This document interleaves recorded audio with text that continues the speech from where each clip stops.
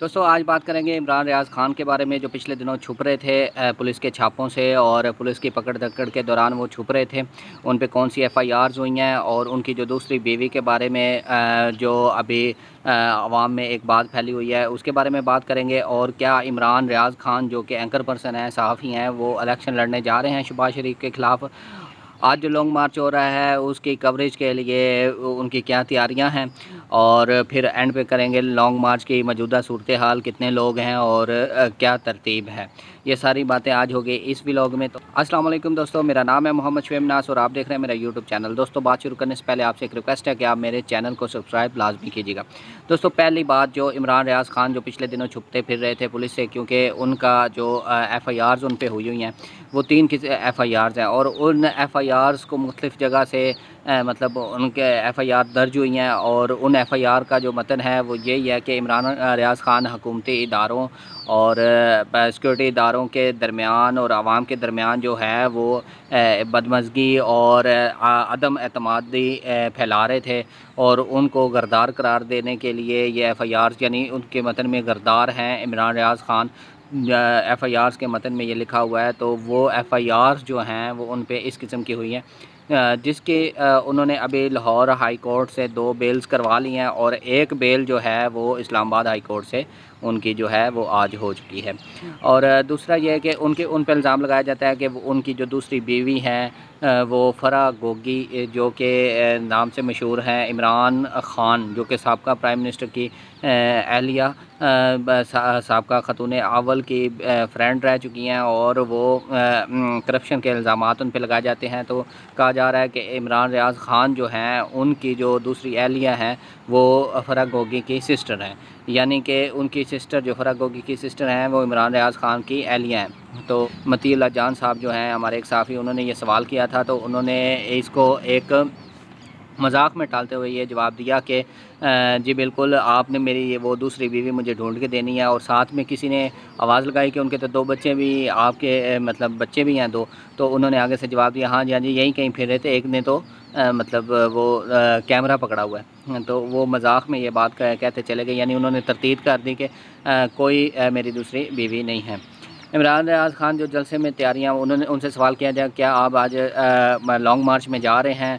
आ, तो उन्होंने जवाब दिया बिल्कुल मैं लॉन्ग मार्च में पिशावर जा रहा हूँ और उसकी पूरी कवरेज करूँगा मैं एक साफ़ी हूँ और मेरा वो काम है और उसी सिलसिले में मैं लॉन्ग मार्च की कवरेज करने के लिए जा रहा हूँ।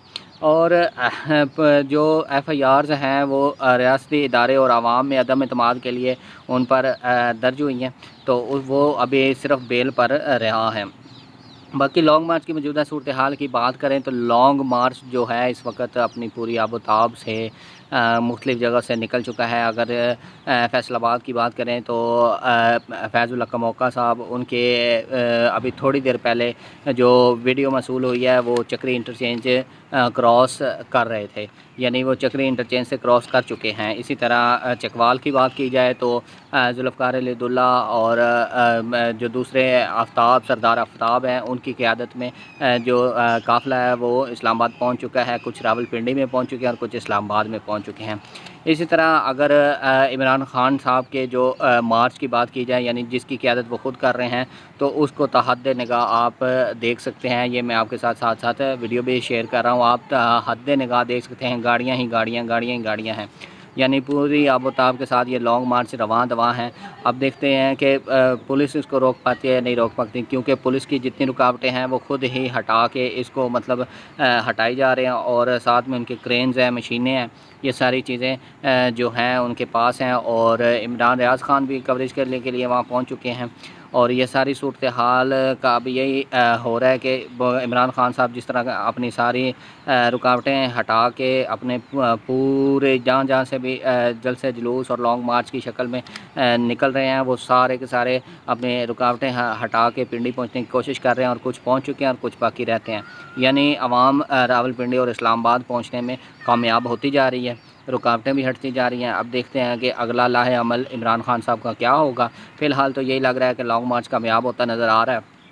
और जो ये दूसरी बातें लॉन्ग मार्च के हवाले से फैलाई जा रही हैं कि इमरान खान साहब की और नून लीग की जो बैक एंड पे एक हो गई है मीटिंग हुई है और उसमें उनका जो है ना वो तय पा गया और डील हो चुकी है, जिसमें परवेज़ खटक और असद उमर का बताया जा रहा है कि वो वहाँ पे मौजूद थे तो नून लीग के दूसरे लोग भी मौजूद थे जहाँ पे वो अपनी डील कर रहे थे, लेकिन अभी थोड़ी देर पहले ये तमाम पीटीआई के जितने भी M N M P As हैं, उनकी तरफ़ से तरदीज आ रही हैं और ट्वीट्स में बताया जा रहा है इमरान खान साहब ने भी खुद भी तरतीब कर दी है कि इस तरह की कोई डील नहीं हुई, हम लॉन्ग मार्च मुकम्मल करेंगे और वहाँ पर धरना देंगे। तो सबको इस्लामाबाद पहुँचने के लिए इमरान खान साहब ने कॉल दी हुई है और उसी पे वो कायम है। दोस्तों इसी तरह के छोटे छोटे क्लिप्स में आपको मज़ीद मालूम मिलती रहेंगी। दोस्तों, मेरे चैनल को लाजमी सब्सक्राइब कीजिएगा। जब तक अगली वीडियो नहीं दी, तब तक के लिए अल्लाह हाफिज़।